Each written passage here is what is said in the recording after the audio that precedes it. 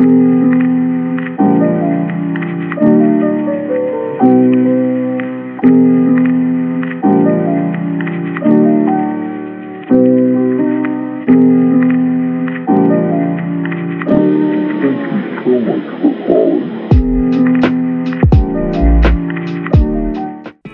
guys! Welcome! Welcome back to my YouTube channel. So for today's video, mag-unbox ako ng package ko from Lazada na last month pa dumating at ngayon ko lang nagawa ng video.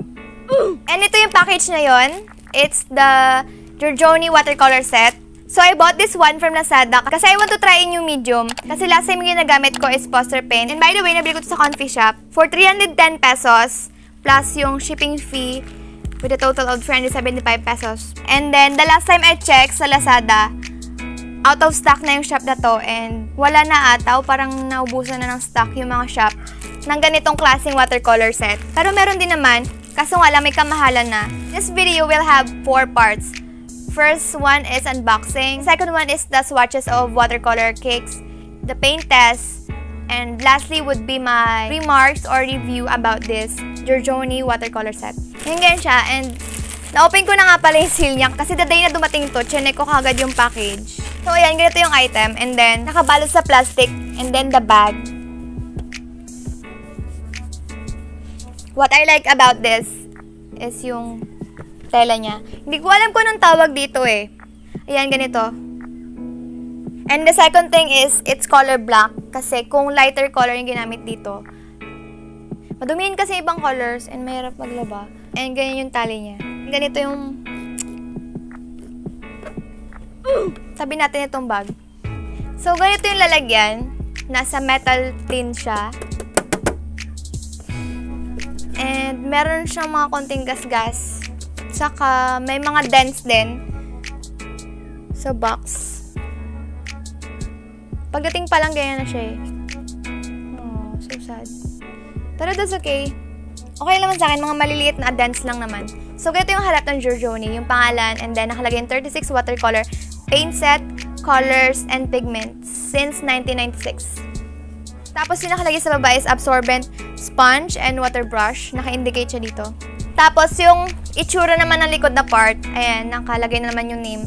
And then, since it's made in China, Chinese yung unang nakalagay. And then, meron tong English, English, meron tong English translation sa babang part.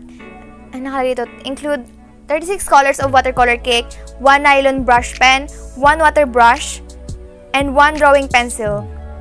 And then, nakalagay din yung 8 sheets of 100% pure cotton professional watercolor paper. And then, naka-indicate din yung usage. Tin box packing is better for protect the color. Is better for protect the watercolor cake. Small and light, easy to... Eh, eh. It's frick. Hindi sa pagiging judgmental ah, pero malalaman mo talaga kung original ba yung product or item kapag yung mga mga spelling and parang grammars. Hindi ako, I'm not a perfectionist, pero halatang halata naman na mali yan eh.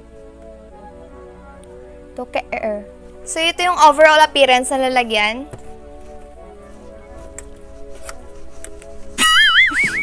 I know, kahit ako minsan talaga nahihirapan din ako intindihin yung sarili ko. So, mag-proceed na tayo sa mismong laman ng set na to. Unang bumungad sa akin yung 8 sheets ng watercolor paper. May konting smudge sa tatak pero hindi naman siya masyadong big deal para sa akin.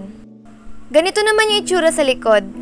Ang cute-cute na lalagyan, alam mo yung para siyang letter na galing sa high school admirer mo. Pero kung wala, eh di wala.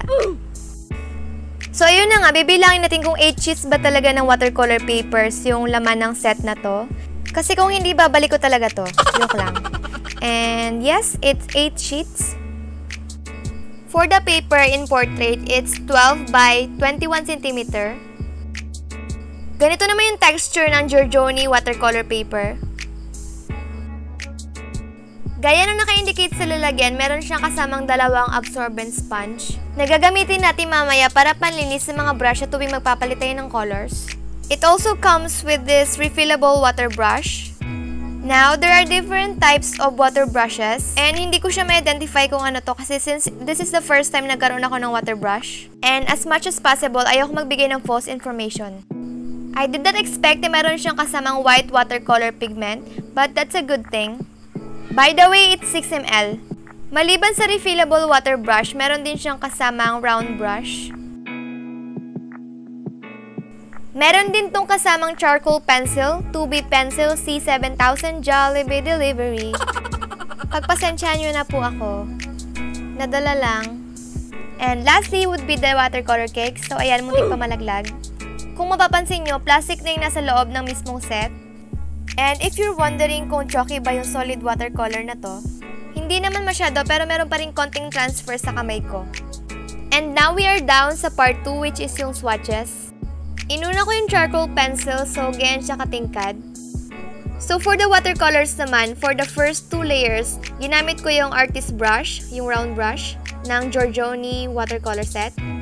At first, I was really shocked na ganito ka-pigmented yung colors ng watercolors na to.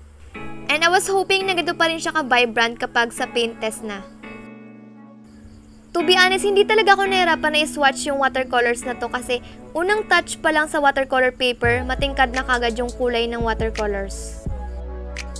I don't know, pero kasi ito kasi yung first time na nagkaroon ako ng watercolor set. So, baka nabigla lang ako sa mga colors na nabigay ng Giorgione watercolor set na to.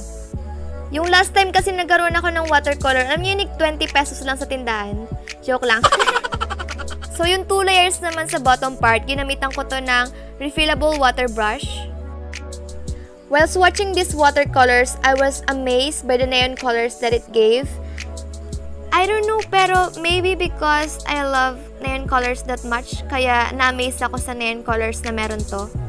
And a big thumbs up din para sa refillable water brush kasi super dali lang siya gamitin and hindi ako nag-struggle.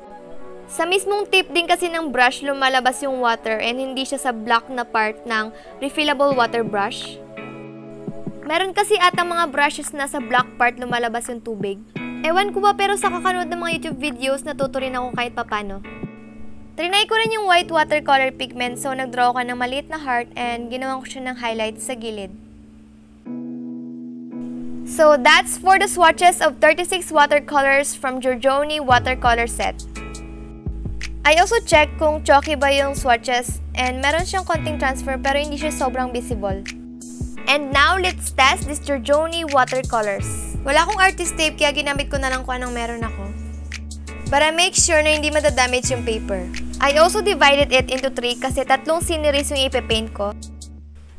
So yung first painting na gagawin ko is sunset siya and then meron siyang silhouettes ng mga poste. Yung nasa gitnang part naman is northern lights and lastly would be the snowy trees. Familiar to mga ipipaint ko ngayong araw kasi kung nanonood din kayo ng mga YouTube videos for beginners, alam nyo na kung saan ako kumuha ng reference sa mga ipipaint ko. Doon din ako kumuha ng mga techniques when it comes to painting using a watercolors. Kasi as I have said kanina, hindi talaga ako gumagamit ng watercolor pa nagpe-paint kasi ibang medium yung ginagamit ko pa nagpe-paint ako. So, kailangan kong matutunan yung mga basic things sa paggamit ng watercolors.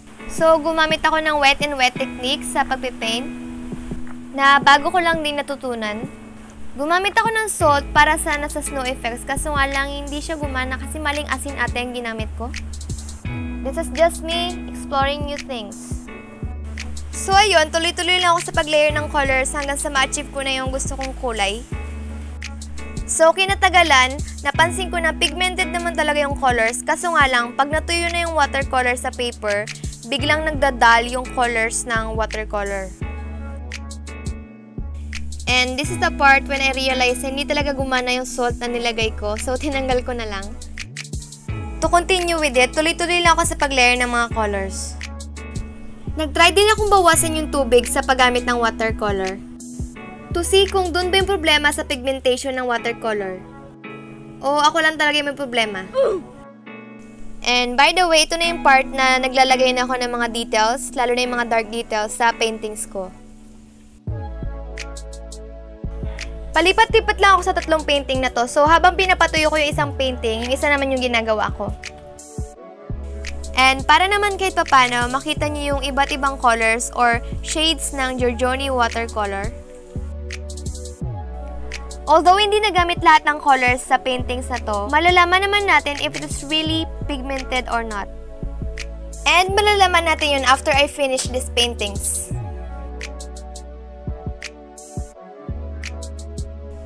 So, until now, tuloy-tuloy pa rin yung pag-layer ko ng mga colors sa paintings ko. And I want to apologize kasi hindi ko na malaya na naggamit ko na pala yung flat brush ko kasi kapag nagpe-paint ako, gusto ko marami akong brush na nahawakan or parang nagagamit and hindi ako makontento sa dalawa lang. So, ayun, sorry.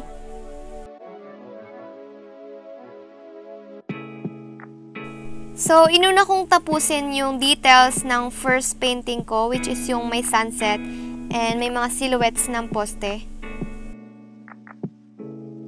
Medyo nakapalan ko rin yung colors ng wires since hindi ko makontrol yung round brush na ginagamit ko. And I enjoyed doing this Northern Lights kasi nagamit ko yung mga neon colors na gusto ko. So, ginamitan ko na ng whites yung sa snow effects ng nasa third painting. And sadly, hindi ako masyadong natuwa sa whites ng Giorgione watercolor set na to.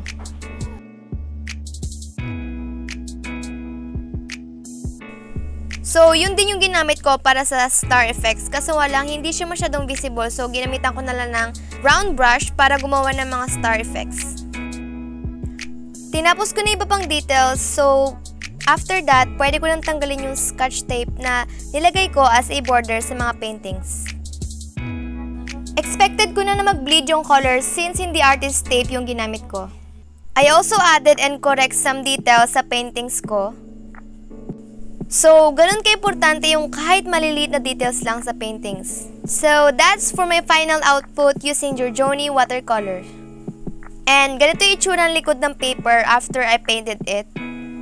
And impressively, walang tumagos na colors sa likod ng paper. This is my overall review or parang remarks about this Giorgione, Giorgione. I don't know what's the right pronunciation kasi. Giorgione. Kung mali ako, I'm sorry. All I can say is, pang beginner talaga tong Giorgione watercolor set na to. First thing, may mga gamit na agad. And hindi ako nahihirapan. And then, bagay na bagay to sa mga beginners like me. Yung gustong mag-start mag-painting, yung mga baguhan. Inaaral pa yung mga techniques and whatsoever. For the watercolor itself, okay naman, kaso nga lang, after matuyo, medyo nagdal na yung colors ng watercolor. I don't know kung ano yung may problema kung yung paper ba or yung watercolor. As for the paper naman, can hold water naman so far. And wala siyang damages dito. Importante din yung klase ng paper sa pagpipaint kasi especially kung gagamit ka ng watercolor.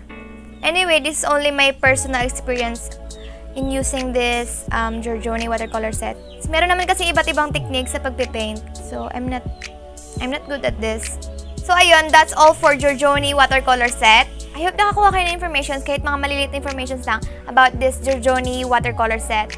And sana nakatulong ako. Thank you for watching and see you in my next video.